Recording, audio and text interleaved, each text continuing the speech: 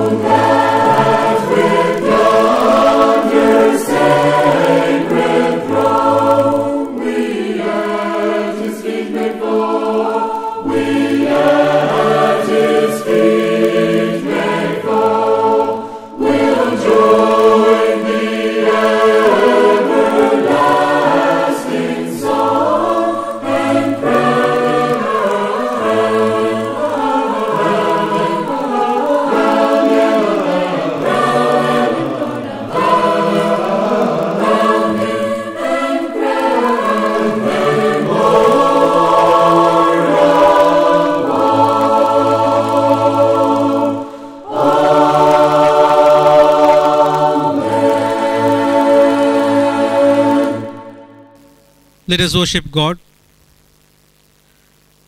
God is spirit, and those who worship him must worship in spirit and truth. Grace to you and peace from God our Father and the Lord Jesus Christ. This is the day that the Lord has made. Let us rejoice and be glad in it. The Lord is near to all who call on him, to all who call on him in truth. Blessed be the God and Father of our Lord Jesus Christ. By his great mercy, he has given us a new birth into a living hope through the resurrection of Jesus Christ from the dead. O Lord, open our lips, and our mouth shall sing forth your praise. Glory be to the Father, and to the Son, and to the Holy Spirit, as it was in the beginning, is now, and ever shall be, world without end. Amen. Praise be to you, O God the Father, who created all things by your power and wisdom, and loved the world so as to give your Son to be our Saviour. Praise be to you, O God the Son, who was made human like us in all things except sin, and was delivered for, for our offences and raised again for our justification. Praise be to you, O God the Holy Spirit, who does lead us into all truth and has shed abroad the love of God in our hearts. All praise and glory be to you, O God, Father, Son, and Holy Spirit, forever and ever. Amen. Have mercy on me, O God, according to your steadfast love, according to your abundant mercy. Blot out my transgressions. Wash me thoroughly from my iniquity and cleanse me from my sin. For I know my transgressions, and my sin is ever before me. Against you, you only have I sinned, and done what is evil in your sight, so that you may be justified in your words and blameless in your judgment. Purge me with hyssop, and I shall be clean. Wash me, and I shall be whiter than snow. Let me hear joy and gladness. Let the bones that you have broken rejoice. Hide your face from my sins and blot out all my iniquities. Create in me a clean heart, O God, and renew a right spirit within me. Cast me not away from your presence, and take not your Holy Spirit from me.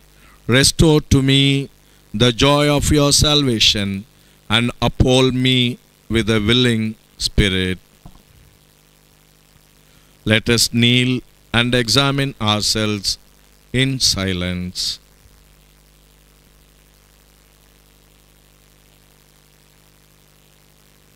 Let us humbly confess our sins to the Almighty God together. Almighty and most merciful God, we have erred and strayed from your ways like lost sheep. We have followed too much the devices and desires of our own hearts. We have offended against your holy laws. We have left undone those things which we should have done, and we have done those things which we should not have done, and there is no health in us.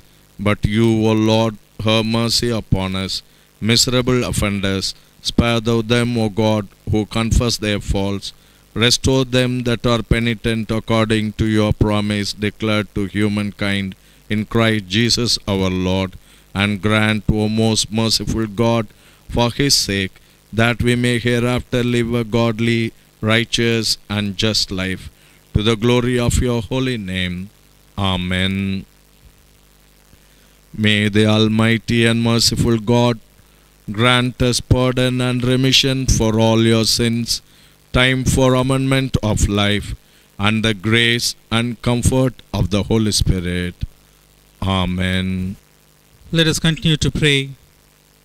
First Sunday after Easter, affirmation of Christ as Lord and God.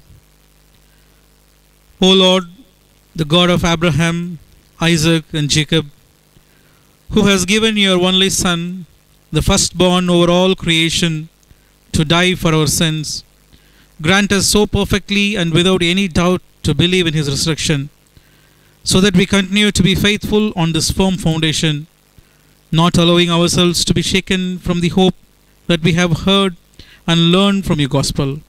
Through Jesus Christ, who lives and reigns with you and the Holy Spirit, one God, now and forevermore. Amen. The gospel reading is taken from Gospel according to St. John, chapter 20, verses 24 to 29. St. John, chapter 20, verses 24 to 29. Now, Thomas, one of the twelve, called the twin, was not with them when Jesus came. So the other disciples told him, We have seen the Lord. But he said to them, Unless I see in his hands the mark of the nails, and place my finger into the mark of the nails, and place my hand into his side, I will never believe. Eight days later, his disciples were inside again, and Thomas was with them. Although the doors were locked, Jesus came and stood among them and said, Peace be with you. Then he said to Thomas, Put your finger here and see my hands, and put out your hand and place it in my side. Do not disbelieve, but believe. Thomas answered him, My Lord and my God. Jesus said to him, Have you believed because you have seen me? Blessed are those who have not seen and yet have believed. Here ends the reading. Praise be to God. Crowned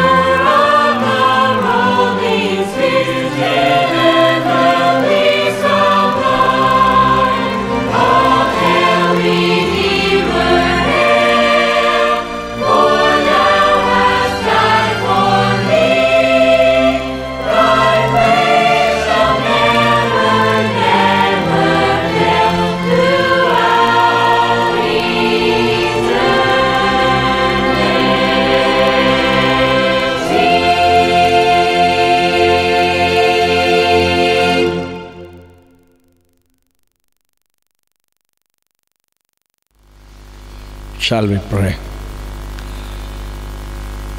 Almighty and ever living God, thank you for this wonderful morning time you have given unto us.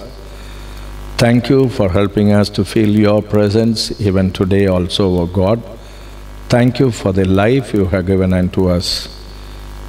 Almighty, thank you for intervening with us with your words, O Lord. Thank you for the scriptures. Even today, you please interact with us and teach us into all the truth. Holy Spirit, God, guide us into all the truth so that we may understand you better and follow you. In Jesus' name I pray. Amen. I greet you all in the name of the resurrected Lord Jesus Christ. Even today, at the time of curfew and at the juncture of COVID 19, we are not able to worship in the church. As a St. John's family, we miss that very much, but still, God has made this possible for us to meet you in this video clipping.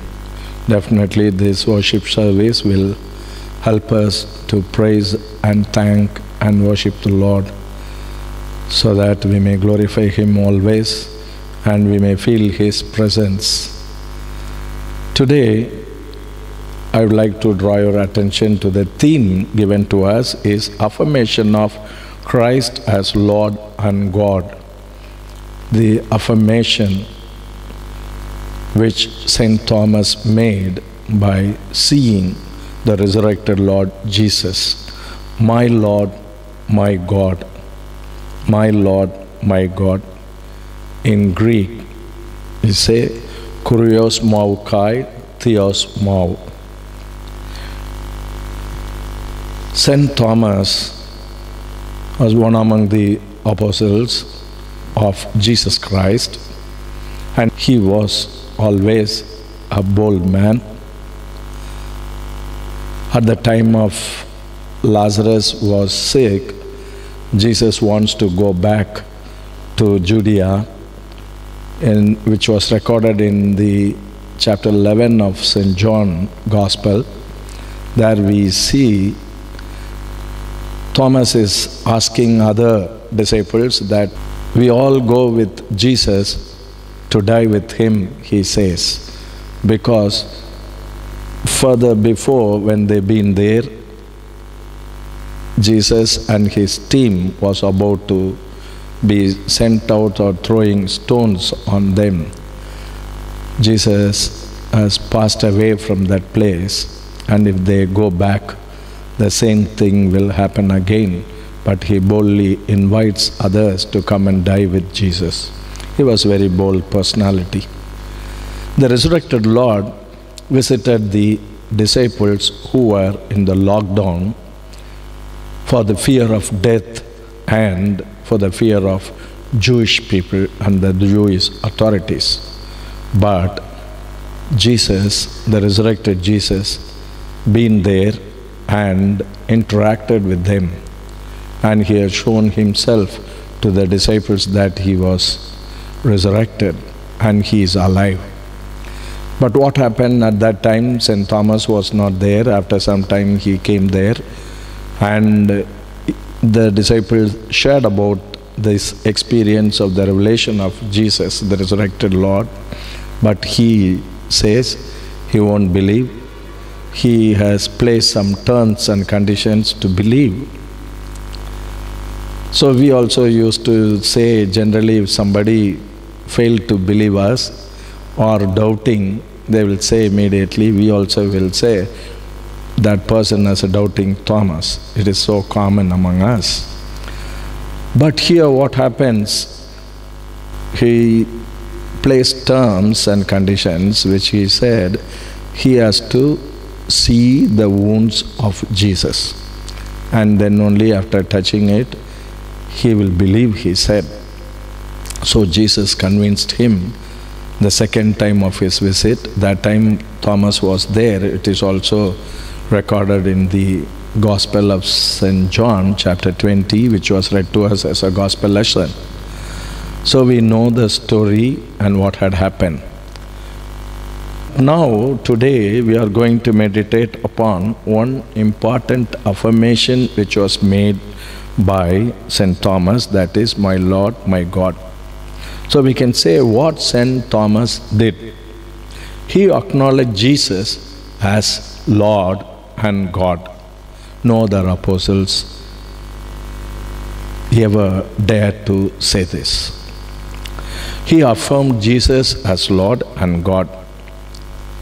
And he personalized Jesus, my Lord, my God, because of the relationship he had with him while he was his rabbi, the teacher, and the Lord. And they were all his disciples. It was very bold statement. The affirmative statement may cause him death because for Romans, the Roman emperor is the Lord. He is the ruler. He is the king. He is the king of king. Even there were statues, the people need to worship the statue and they have to perform some religious rites to the emperor. He alone is considered to be the Lord. Moreover, the Jewish authorities as well as the Roman authorities has condemned Jesus as a criminal. He was punished on the cross until his death. But now St. Thomas is saying that that Jesus as Lord and God, the immortal. This is a very bold statement.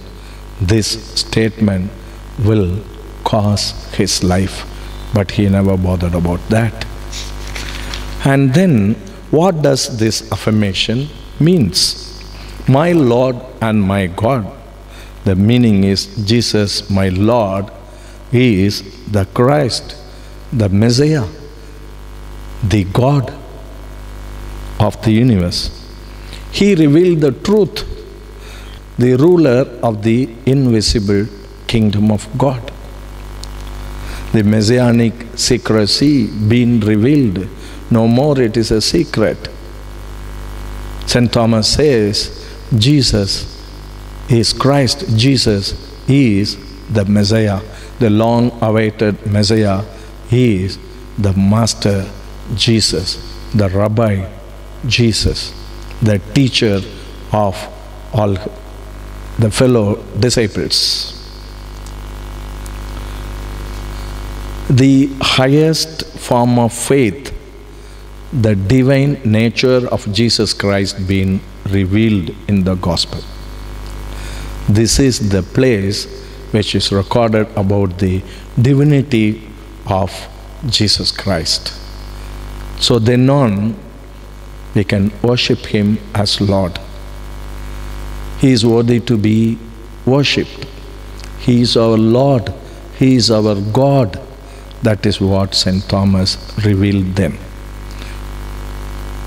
Dearly beloved, this is the highest point of revelation of the divine nature of Jesus recorded in the gospel. Moreover, we know that at the time of Jesus on the cross, crucified, the curtain in the temple altar it was torn apart. No more sacrifice is needed. The atoning sacrifice was Jesus Christ Himself and the Paschal Lamb. Now He is the God. Here I would like to draw your attention to one important thing that when John, the gospel writer, he introduced Jesus, that behold the Lamb of God. Behold the Lamb, he was telling there in the introduction. Now he says, He is the Paschal Lamb, and he says, He is the God, the Lord and God. The divinity is revealed through the statement of St. Thomas. The crucified Jesus as resurrected Lord and God. Mosaic law ceased. No more sacrifices are needed. What was the result of this affirmative statement, My Lord, my God? Jesus says to Thomas in John 20 29, Have you believed because you have seen me? Blessed are those who have not seen and yet have believed. A wonderful statement given by the resurrected Lord that we all been benefited because of that. We are all blessed people because of this, because we have not seen Jesus in our naked eyes. But we believe Him that He is Christ. He is the Messiah. He is the Redeemer. He is the Savior. And He is alive. So by that way we all blessed. Jesus says that this statement came out because of St. Thomas. Jesus expects us to acknowledge or affirm him among people. Matthew 10 32 and 33, I would like to read for you. So, everyone who acknowledges me before men, I also will acknowledge before my Father who is in heaven. But whoever denies me before men, I also will deny before my Father who is in heaven. My Lord, my God. Jesus as my Lord and my God, we need to affirm. This became the early affirmative statement of faith for every true Christian. It was that much important one. The known Jesus, the rabbi, the teacher, was the Christ, Messiah for St. Thomas. Who is this Christ? Colossians chapter 1, verse 16, there St. Paul explains this very clearly. For by him all things were created, in heaven and on earth, visible and invisible, whether thrones or dominions or rulers or authorities, all things were created through him and for him. This Jesus is the Christ, the Messiah. That is the affirmation he gives. Now we understand the meaning of it. The embedded meaning is very strong conviction, faith statement. In conclusion, I would like to draw few points before you. The fear of death and lockdown did not restricted the resurrected Lord anyway to meet his disciples.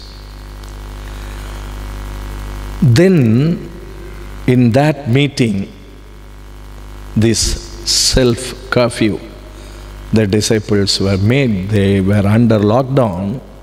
There, Jesus, been there, and he pronounced peace for them. The situation is very worst. They are very perplexed, confused, fearful, even they feared for death. But there, the resurrected Lord pronounces peace, which is possible. Then Jesus, even there, he was teaching his disciples about the highest point of belief through St. Thomas. That is, Thomas declaring that Jesus as Messiah. The messianic secrecy being revealed under the lockdown, we need to notice that. Jesus as Lord, God, worthy to be praised, had been started from there. So this lockdown helped them to understand the divinity of Jesus. The highest faith statement of the gospel, my Lord, my God, was pronounced during the lockdown, as I mentioned earlier. Dearly beloved, we are under 144 because of the COVID 19 scenario. When we see the news and what's happening abroad in other countries, mainly in USA as well as in Italy, there are thousands of people dying every day. They are not able to control the death, the virus. And it is very alarming. Sometimes we fear about all these things, we can't take it very lightly. At the same time, we no need to worry about this because all these things this lockdown and curfew may not shut or shun Jesus, the resurrected Lord, to meet us. He is ready to meet us, interact with us, intercede for us. His presence is assured even under the curfew. Jesus pronounced peace for the disciples that is possible even now. The resurrected Lord is alive. He is here. He is a living God. Moreover, this time will help us to grow better in faith. He is teaching through the Word of God. The faith, it is growing every day. It's a time of prayer and a time for us to grow in the Word of God. It is possible. Jesus is very much alive to teach us the truth in the Scriptures. He is ready to reveal Himself to us. The divine nature of God will be revealed. We may understand better a true worship is possible even under the curfew. We may no need to worry about that not able to come to church and worship, but we can worship there in the lockdown situation. Jesus is alive and very much true. His presence can be enjoyed. John 20 29 it says, Blessed are those who have not seen and yet have believed. This kind of faith which helps sustain Christianity for ages. By this we are blessed. Jesus expects us that we need to pass on this faith to others.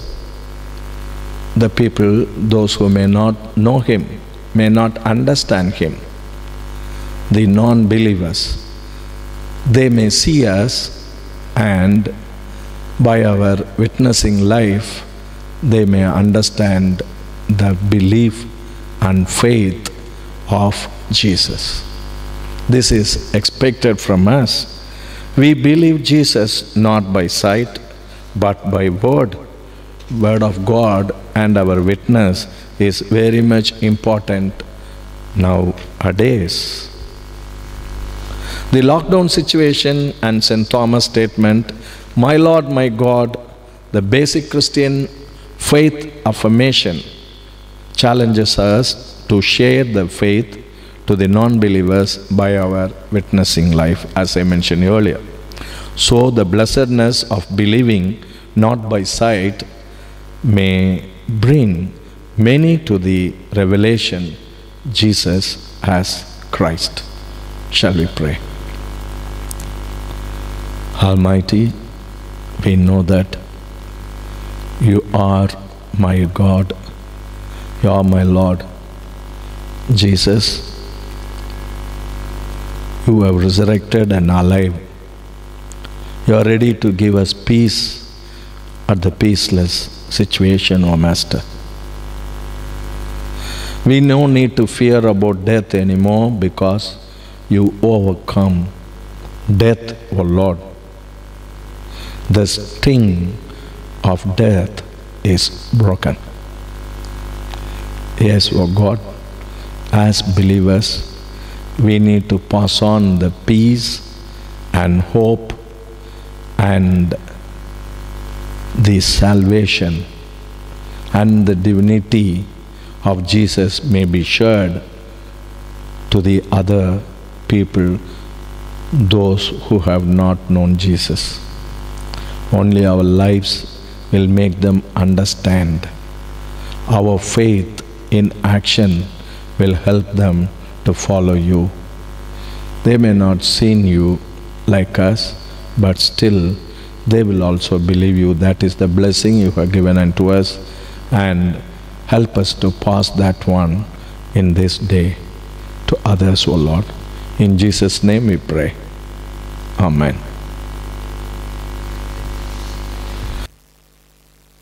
My Lord, my God. These are the faith affirmation words from disciple Thomas. Let us feel the presence of our Lord Jesus Christ in our locked rooms and receive the peace that He provides us. It is the prime faith statement not just for Thomas but for every one of us. Let us share the good news to others. With these words, let us affirm our faith by saying the Apostles' Creed together. I believe in God, the Father Almighty, creator of heaven and earth. I believe in Jesus Christ, God's only Son, our Lord, who was conceived by the Holy Spirit, born of the Virgin Mary, suffered under Pontius Pilate, was crucified, died, and was buried. He descended to the dead. On the third day, he rose again. He ascended into heaven. He is seated at the right hand of the Father. He will come to judge the living and the dead. I believe in the Holy Spirit, the Holy Catholic Church, the communion of saints, the forgiveness of sins, the resurrection of the body, and the life everlasting. Amen.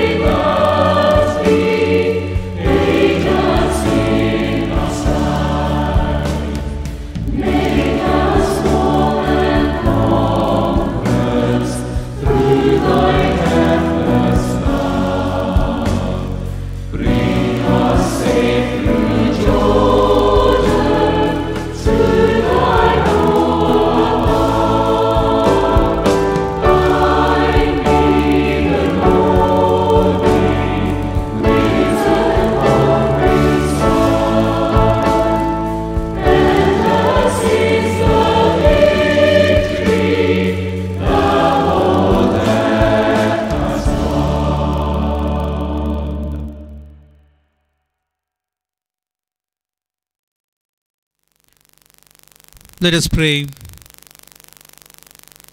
Cast me not away from your presence, and take not your Holy Spirit from me. Restore to me the joy of your salvation, and uphold me with a willing spirit. My Lord, my God, we thank you for your grace. We thank you for your providence.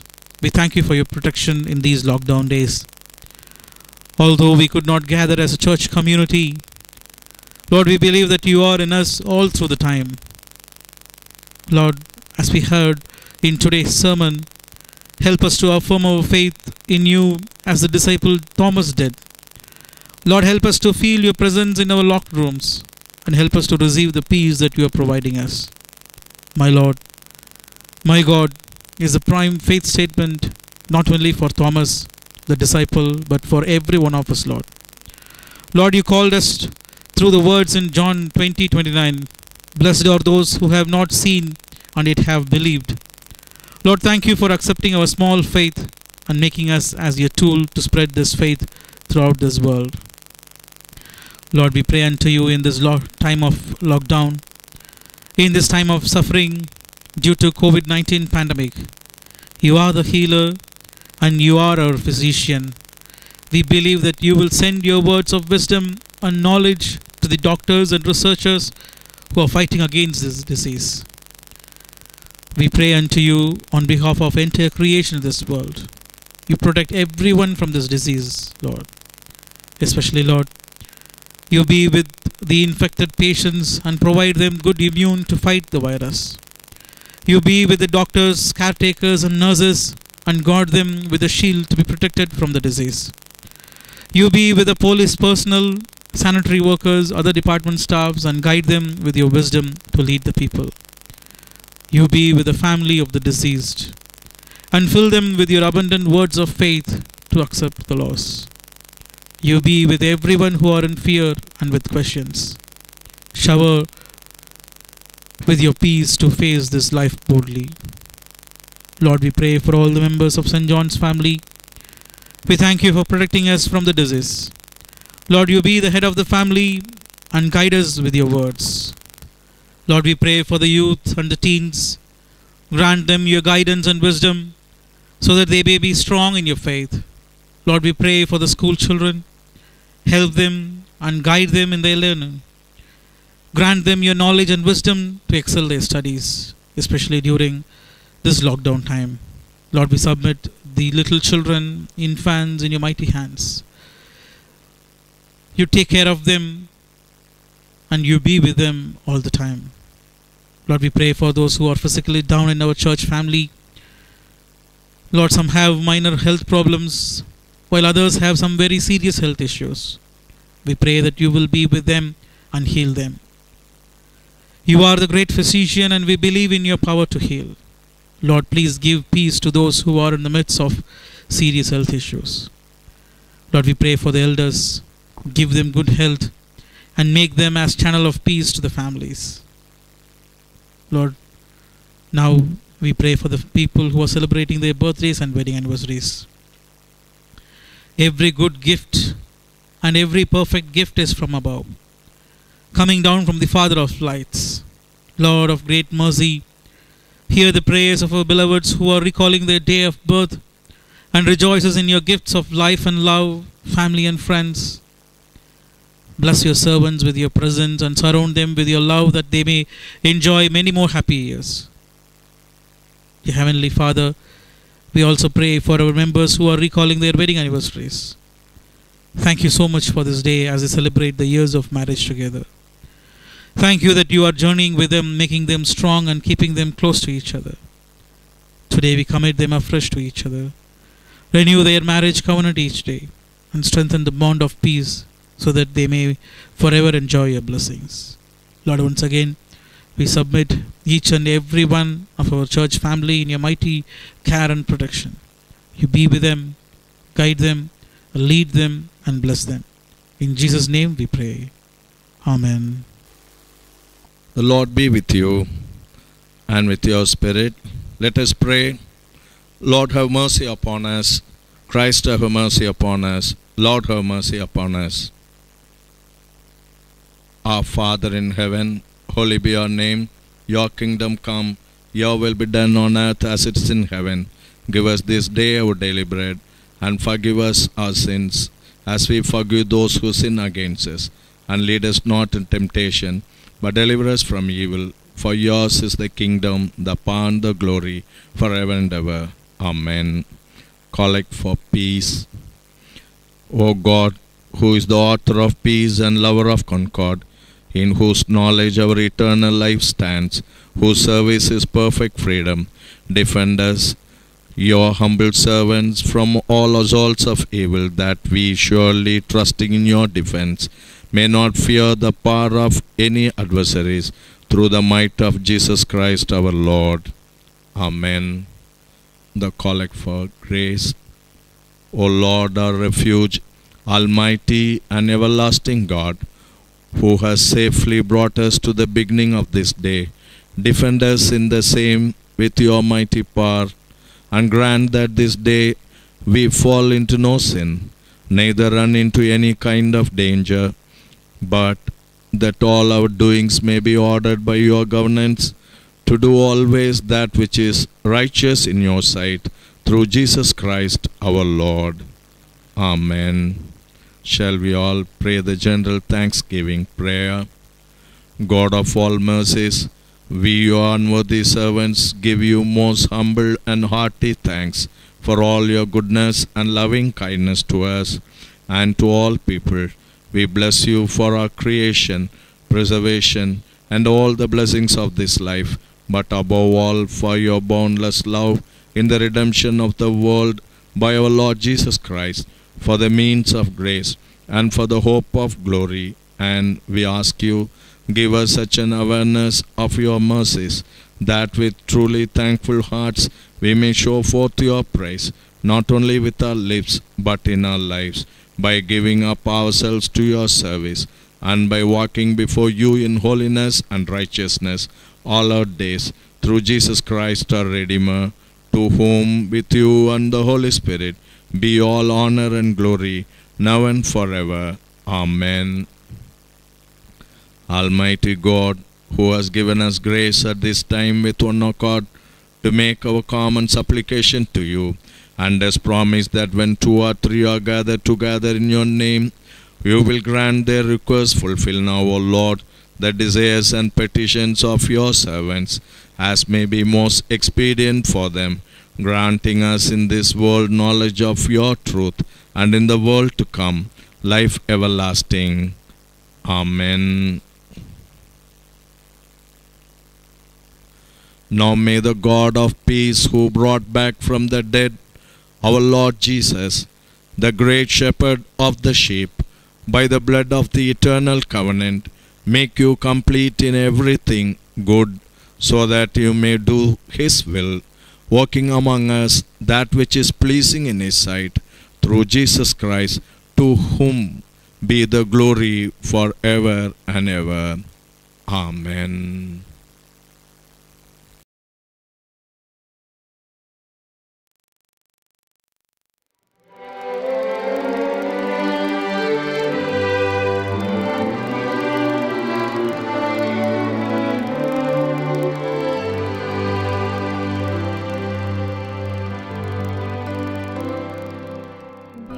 Not dismayed, whate'er betide, God will take care of you.